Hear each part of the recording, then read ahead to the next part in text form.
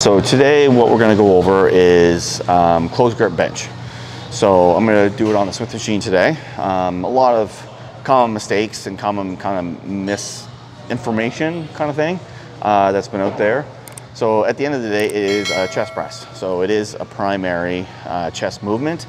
The only difference is uh, your your elbows are really tight to your body, so your triceps are going to become a lot more engaged than um, the regular kind of chest press. So when you're getting into something like this, so I'm gonna do it flat today. You, you do it incline, you do it flat, whatever you so choose. But instead of doing a normal chest press where I would be pressing out here, now I'm coming in way in nice and close. And the bar is gonna hit me a lot lower in the in the chest than where I work regularly.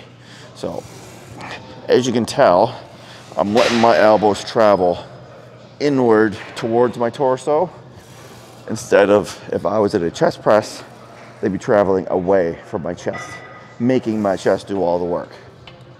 So that's the big, big change. And then bringing it all the way down, getting the full stretch, and you're just pressing up. So a lot of the stretch you're gonna feel here, or for me myself, is in my tricep. It's still, like I said, it still is a chest movement, so you're still doing that, pushing yourself through the bench, but you're just incorporating a lot more tricep than you normally would on a regular chest press. So common mistakes that a lot of people do is when they do this, is they're bringing it down they kind of curl their stuff in here. And this is a lot of, you'll see, like you can literally see my front delta now involved. And I had to pull my elbows away from my torso instead of keeping them in nice and tight. So you still got to keep those shoulders locked back, chest up. Get to go heavy this? You don't have to go heavy. and that's another misconception. So go off of what your strength is. So a lot of people just want to rack the weight up, um, which is great if you have good technique and you're strong enough to do that.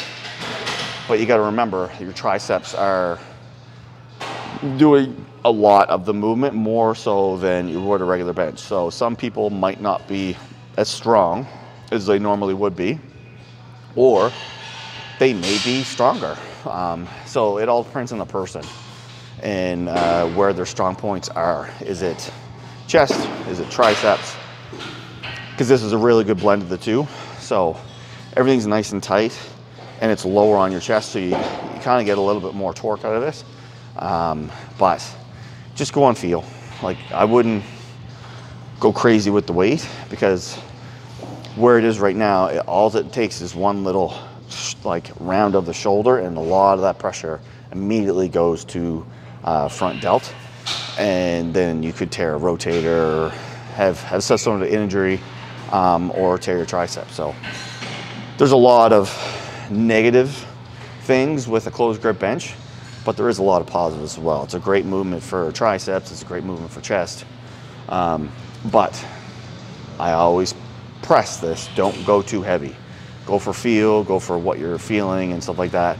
Because it just takes that one small like movement of shoulders first and round in your back to kind of get that that one good momentum push and everything's gonna snap. So take all that into consideration next time you do your closing your bench and give it a whirl.